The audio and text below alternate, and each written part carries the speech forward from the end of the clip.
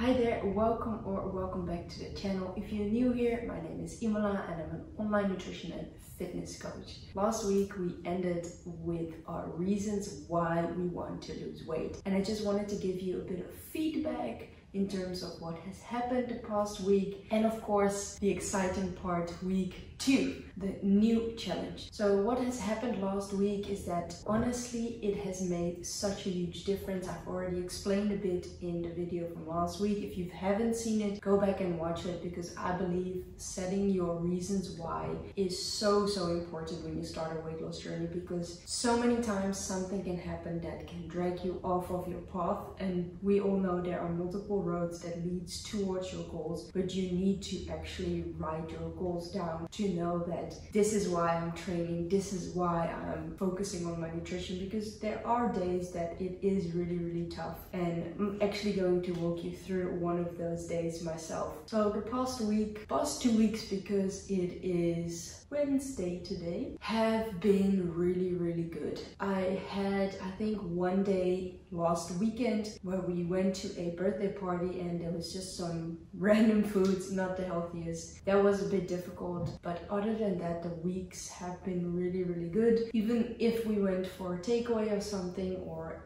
ate out for dinner, I just made sure that I had smaller meals. So instead of finishing a full pizza, I would just have half of the pizza and I will eat the other half for the next meal. And these are simple things, but they've been really helping me. And then, of course, the reasons why the notes are still on my computer and on my snack drawer on my fridge. Having those physical reminders personally to me makes such a big, big difference. And I believe that it can be a big difference for you as well. But on top of this, on Monday, I made sure to make my goals a bit more specific. So basically, I made SMART goals out of the reasons why. So I have three reasons why. So number one is that I want to run a marathon. Number two is I want to run faster and further. And three, I just want to be a good example. So these three are really, really important to me in this stage in life that I'm in right now. I've made those a bit more smart because running a marathon, yeah, that, that can be very open, you know. So, oh, excuse me.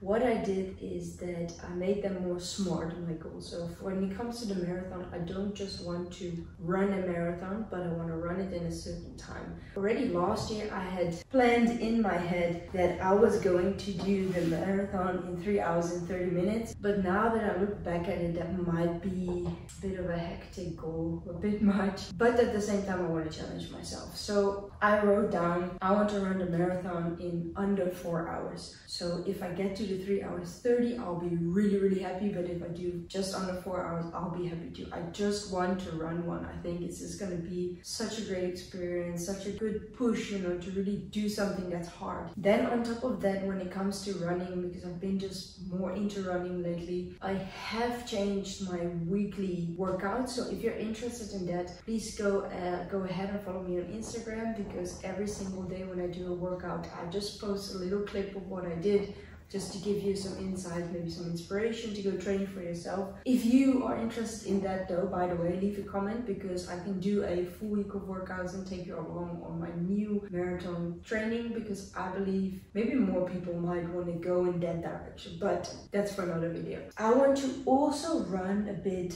faster, not only further, but also faster. So for my 5K, 10K and half marathon, I also said that I want to run a PB and it's just under the times I've ran last year or the years before. I still feel like I'm a real beginner in running, so I do not have these crazy times or anything like that, but I just enjoy pushing myself from what I've had from my gymnastics for years. And in running, I feel I have that a bit more than in lifting weights. I do enjoy lifting weights, I'm still lifting weights, but not as much as I did because for running, I don't need huge biceps. Not that I have huge biceps, even though I do feel sometimes like I'm big as in muscular, but it's actually, I guess, not that bad. These goals have really helped me this week in particular to focus on my training, to focus on my nutrition, and it's been going really, really well. Although the scale weight has not been going down, but like I said last week as well, I started taking creatine again, and I'm definitely holding a bit more water weight. I even feel it. It's okay, you know, at least I'm not going up like crazy in weight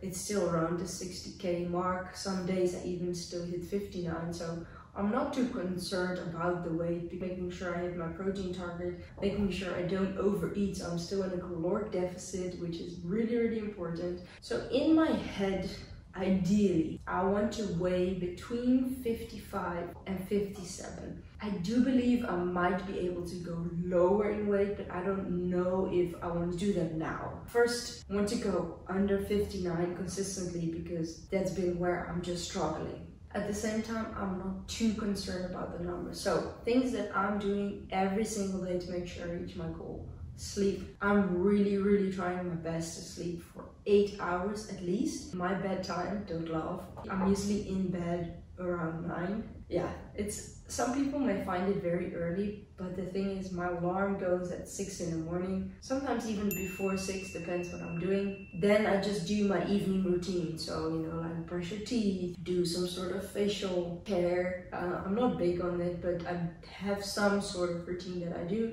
I go into bed, depends how tired I am, I might read for a bit, and I put on my lovely sleeping mask, and I put on, sometimes we're putting on some white noise on the background makes me sleep like a baby. First thing in the morning, is going to the toilet, emptying my bladder, emptying my stool, and then I step on the scale. I do this every single morning just to get the most accurate weight measurement I can get. I do that, I just write the number down. I try to not overanalyze it because at the end of the day it's just a number. Just write it down. Have the whole notebook filled with our weight from, I think, already a year at least from this one, but I've been tracking my weight for a long time. It's just something that helps me be accountable to myself. Then I usually drink some water. So I have this one next to my bed as well, almost finished it.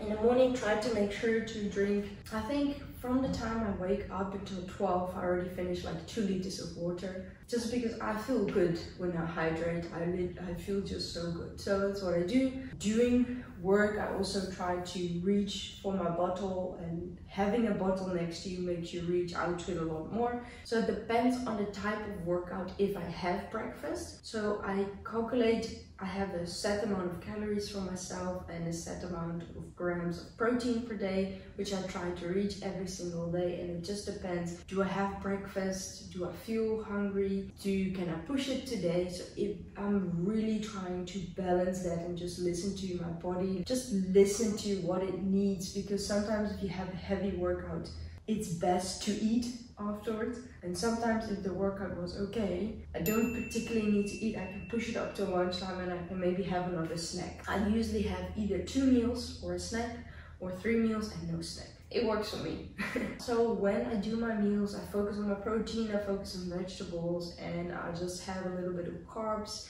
Definitely also important to not skip on carbs but just to i'm just trying to be aware of my portion sizes so Sometimes I'm literally grabbing a smaller plate if I make something that I really enjoy, which is most of the time. I take a smaller plate for when it's time for lunch or dinner because even if I fill the plate, it's at least not as big as the big plate. You get what I'm saying? And that way I just hold myself accountable. Other than that, so the water, the sleep, and for me the steps are very important. And having a step goal just really helps me be aware of how active I am during the day and I've noticed not only by myself, but also by my clients, just having that goal there makes you more aware of walking. So you walk just a bit more or a bit further, or you go for an actual walk instead of, I don't know, sometimes I just call my friends or my family while I walk. So it's like two in one, or, or I can watch something on my phone while I walk. It's just important to get the steps in. It's also nice, especially if the weather is good, you get some fresh air, so it's a win-win situation. Then of course my strength training sessions are very important. I still want to keep my muscle.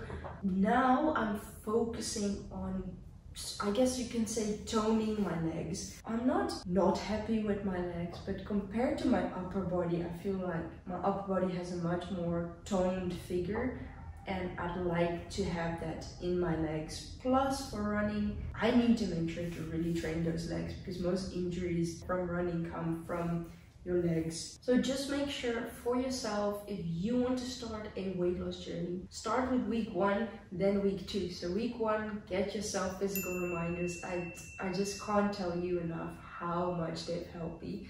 Then two, set yourself SMART goals because those two combined, you can even put the proper SMART goals under or next to the reasons why. I might actually do that, but I'll, I'll think about it because I don't want to overclutter my house with notes, but at the same time, it's nice because I feel like it's not only helping me, it has also been helping the people around me knowing that I'm actually onto something. So they're not asking if I want things that are unhealthy or processed because they know that I'm working towards something big. So that's also another thing that I can tell you. Just try it out and yeah, maybe some people may find it weird, but it helped me so much. Just been very excited to actually, you know, continue in the new year because sometimes it's hard, especially that the new year is here. You know, the first month you want to see so many results, you want to do this, this, this, and this, and then the motivation drops. But I feel like having this, and it's going to be a 40 week challenge plan. So it's not like, oh, a few weeks it's done. No, we're going to build up on this. You want to start your weight loss journey, any questions or anything else, please leave a comment if you want to see something else on the channel. Also, please leave a comment if you enjoyed this video, like it. If you know someone else that's on a weight loss journey and this might help them, please feel free to share it. And I see you in the next one. Thank you so much for watching. I really appreciate you.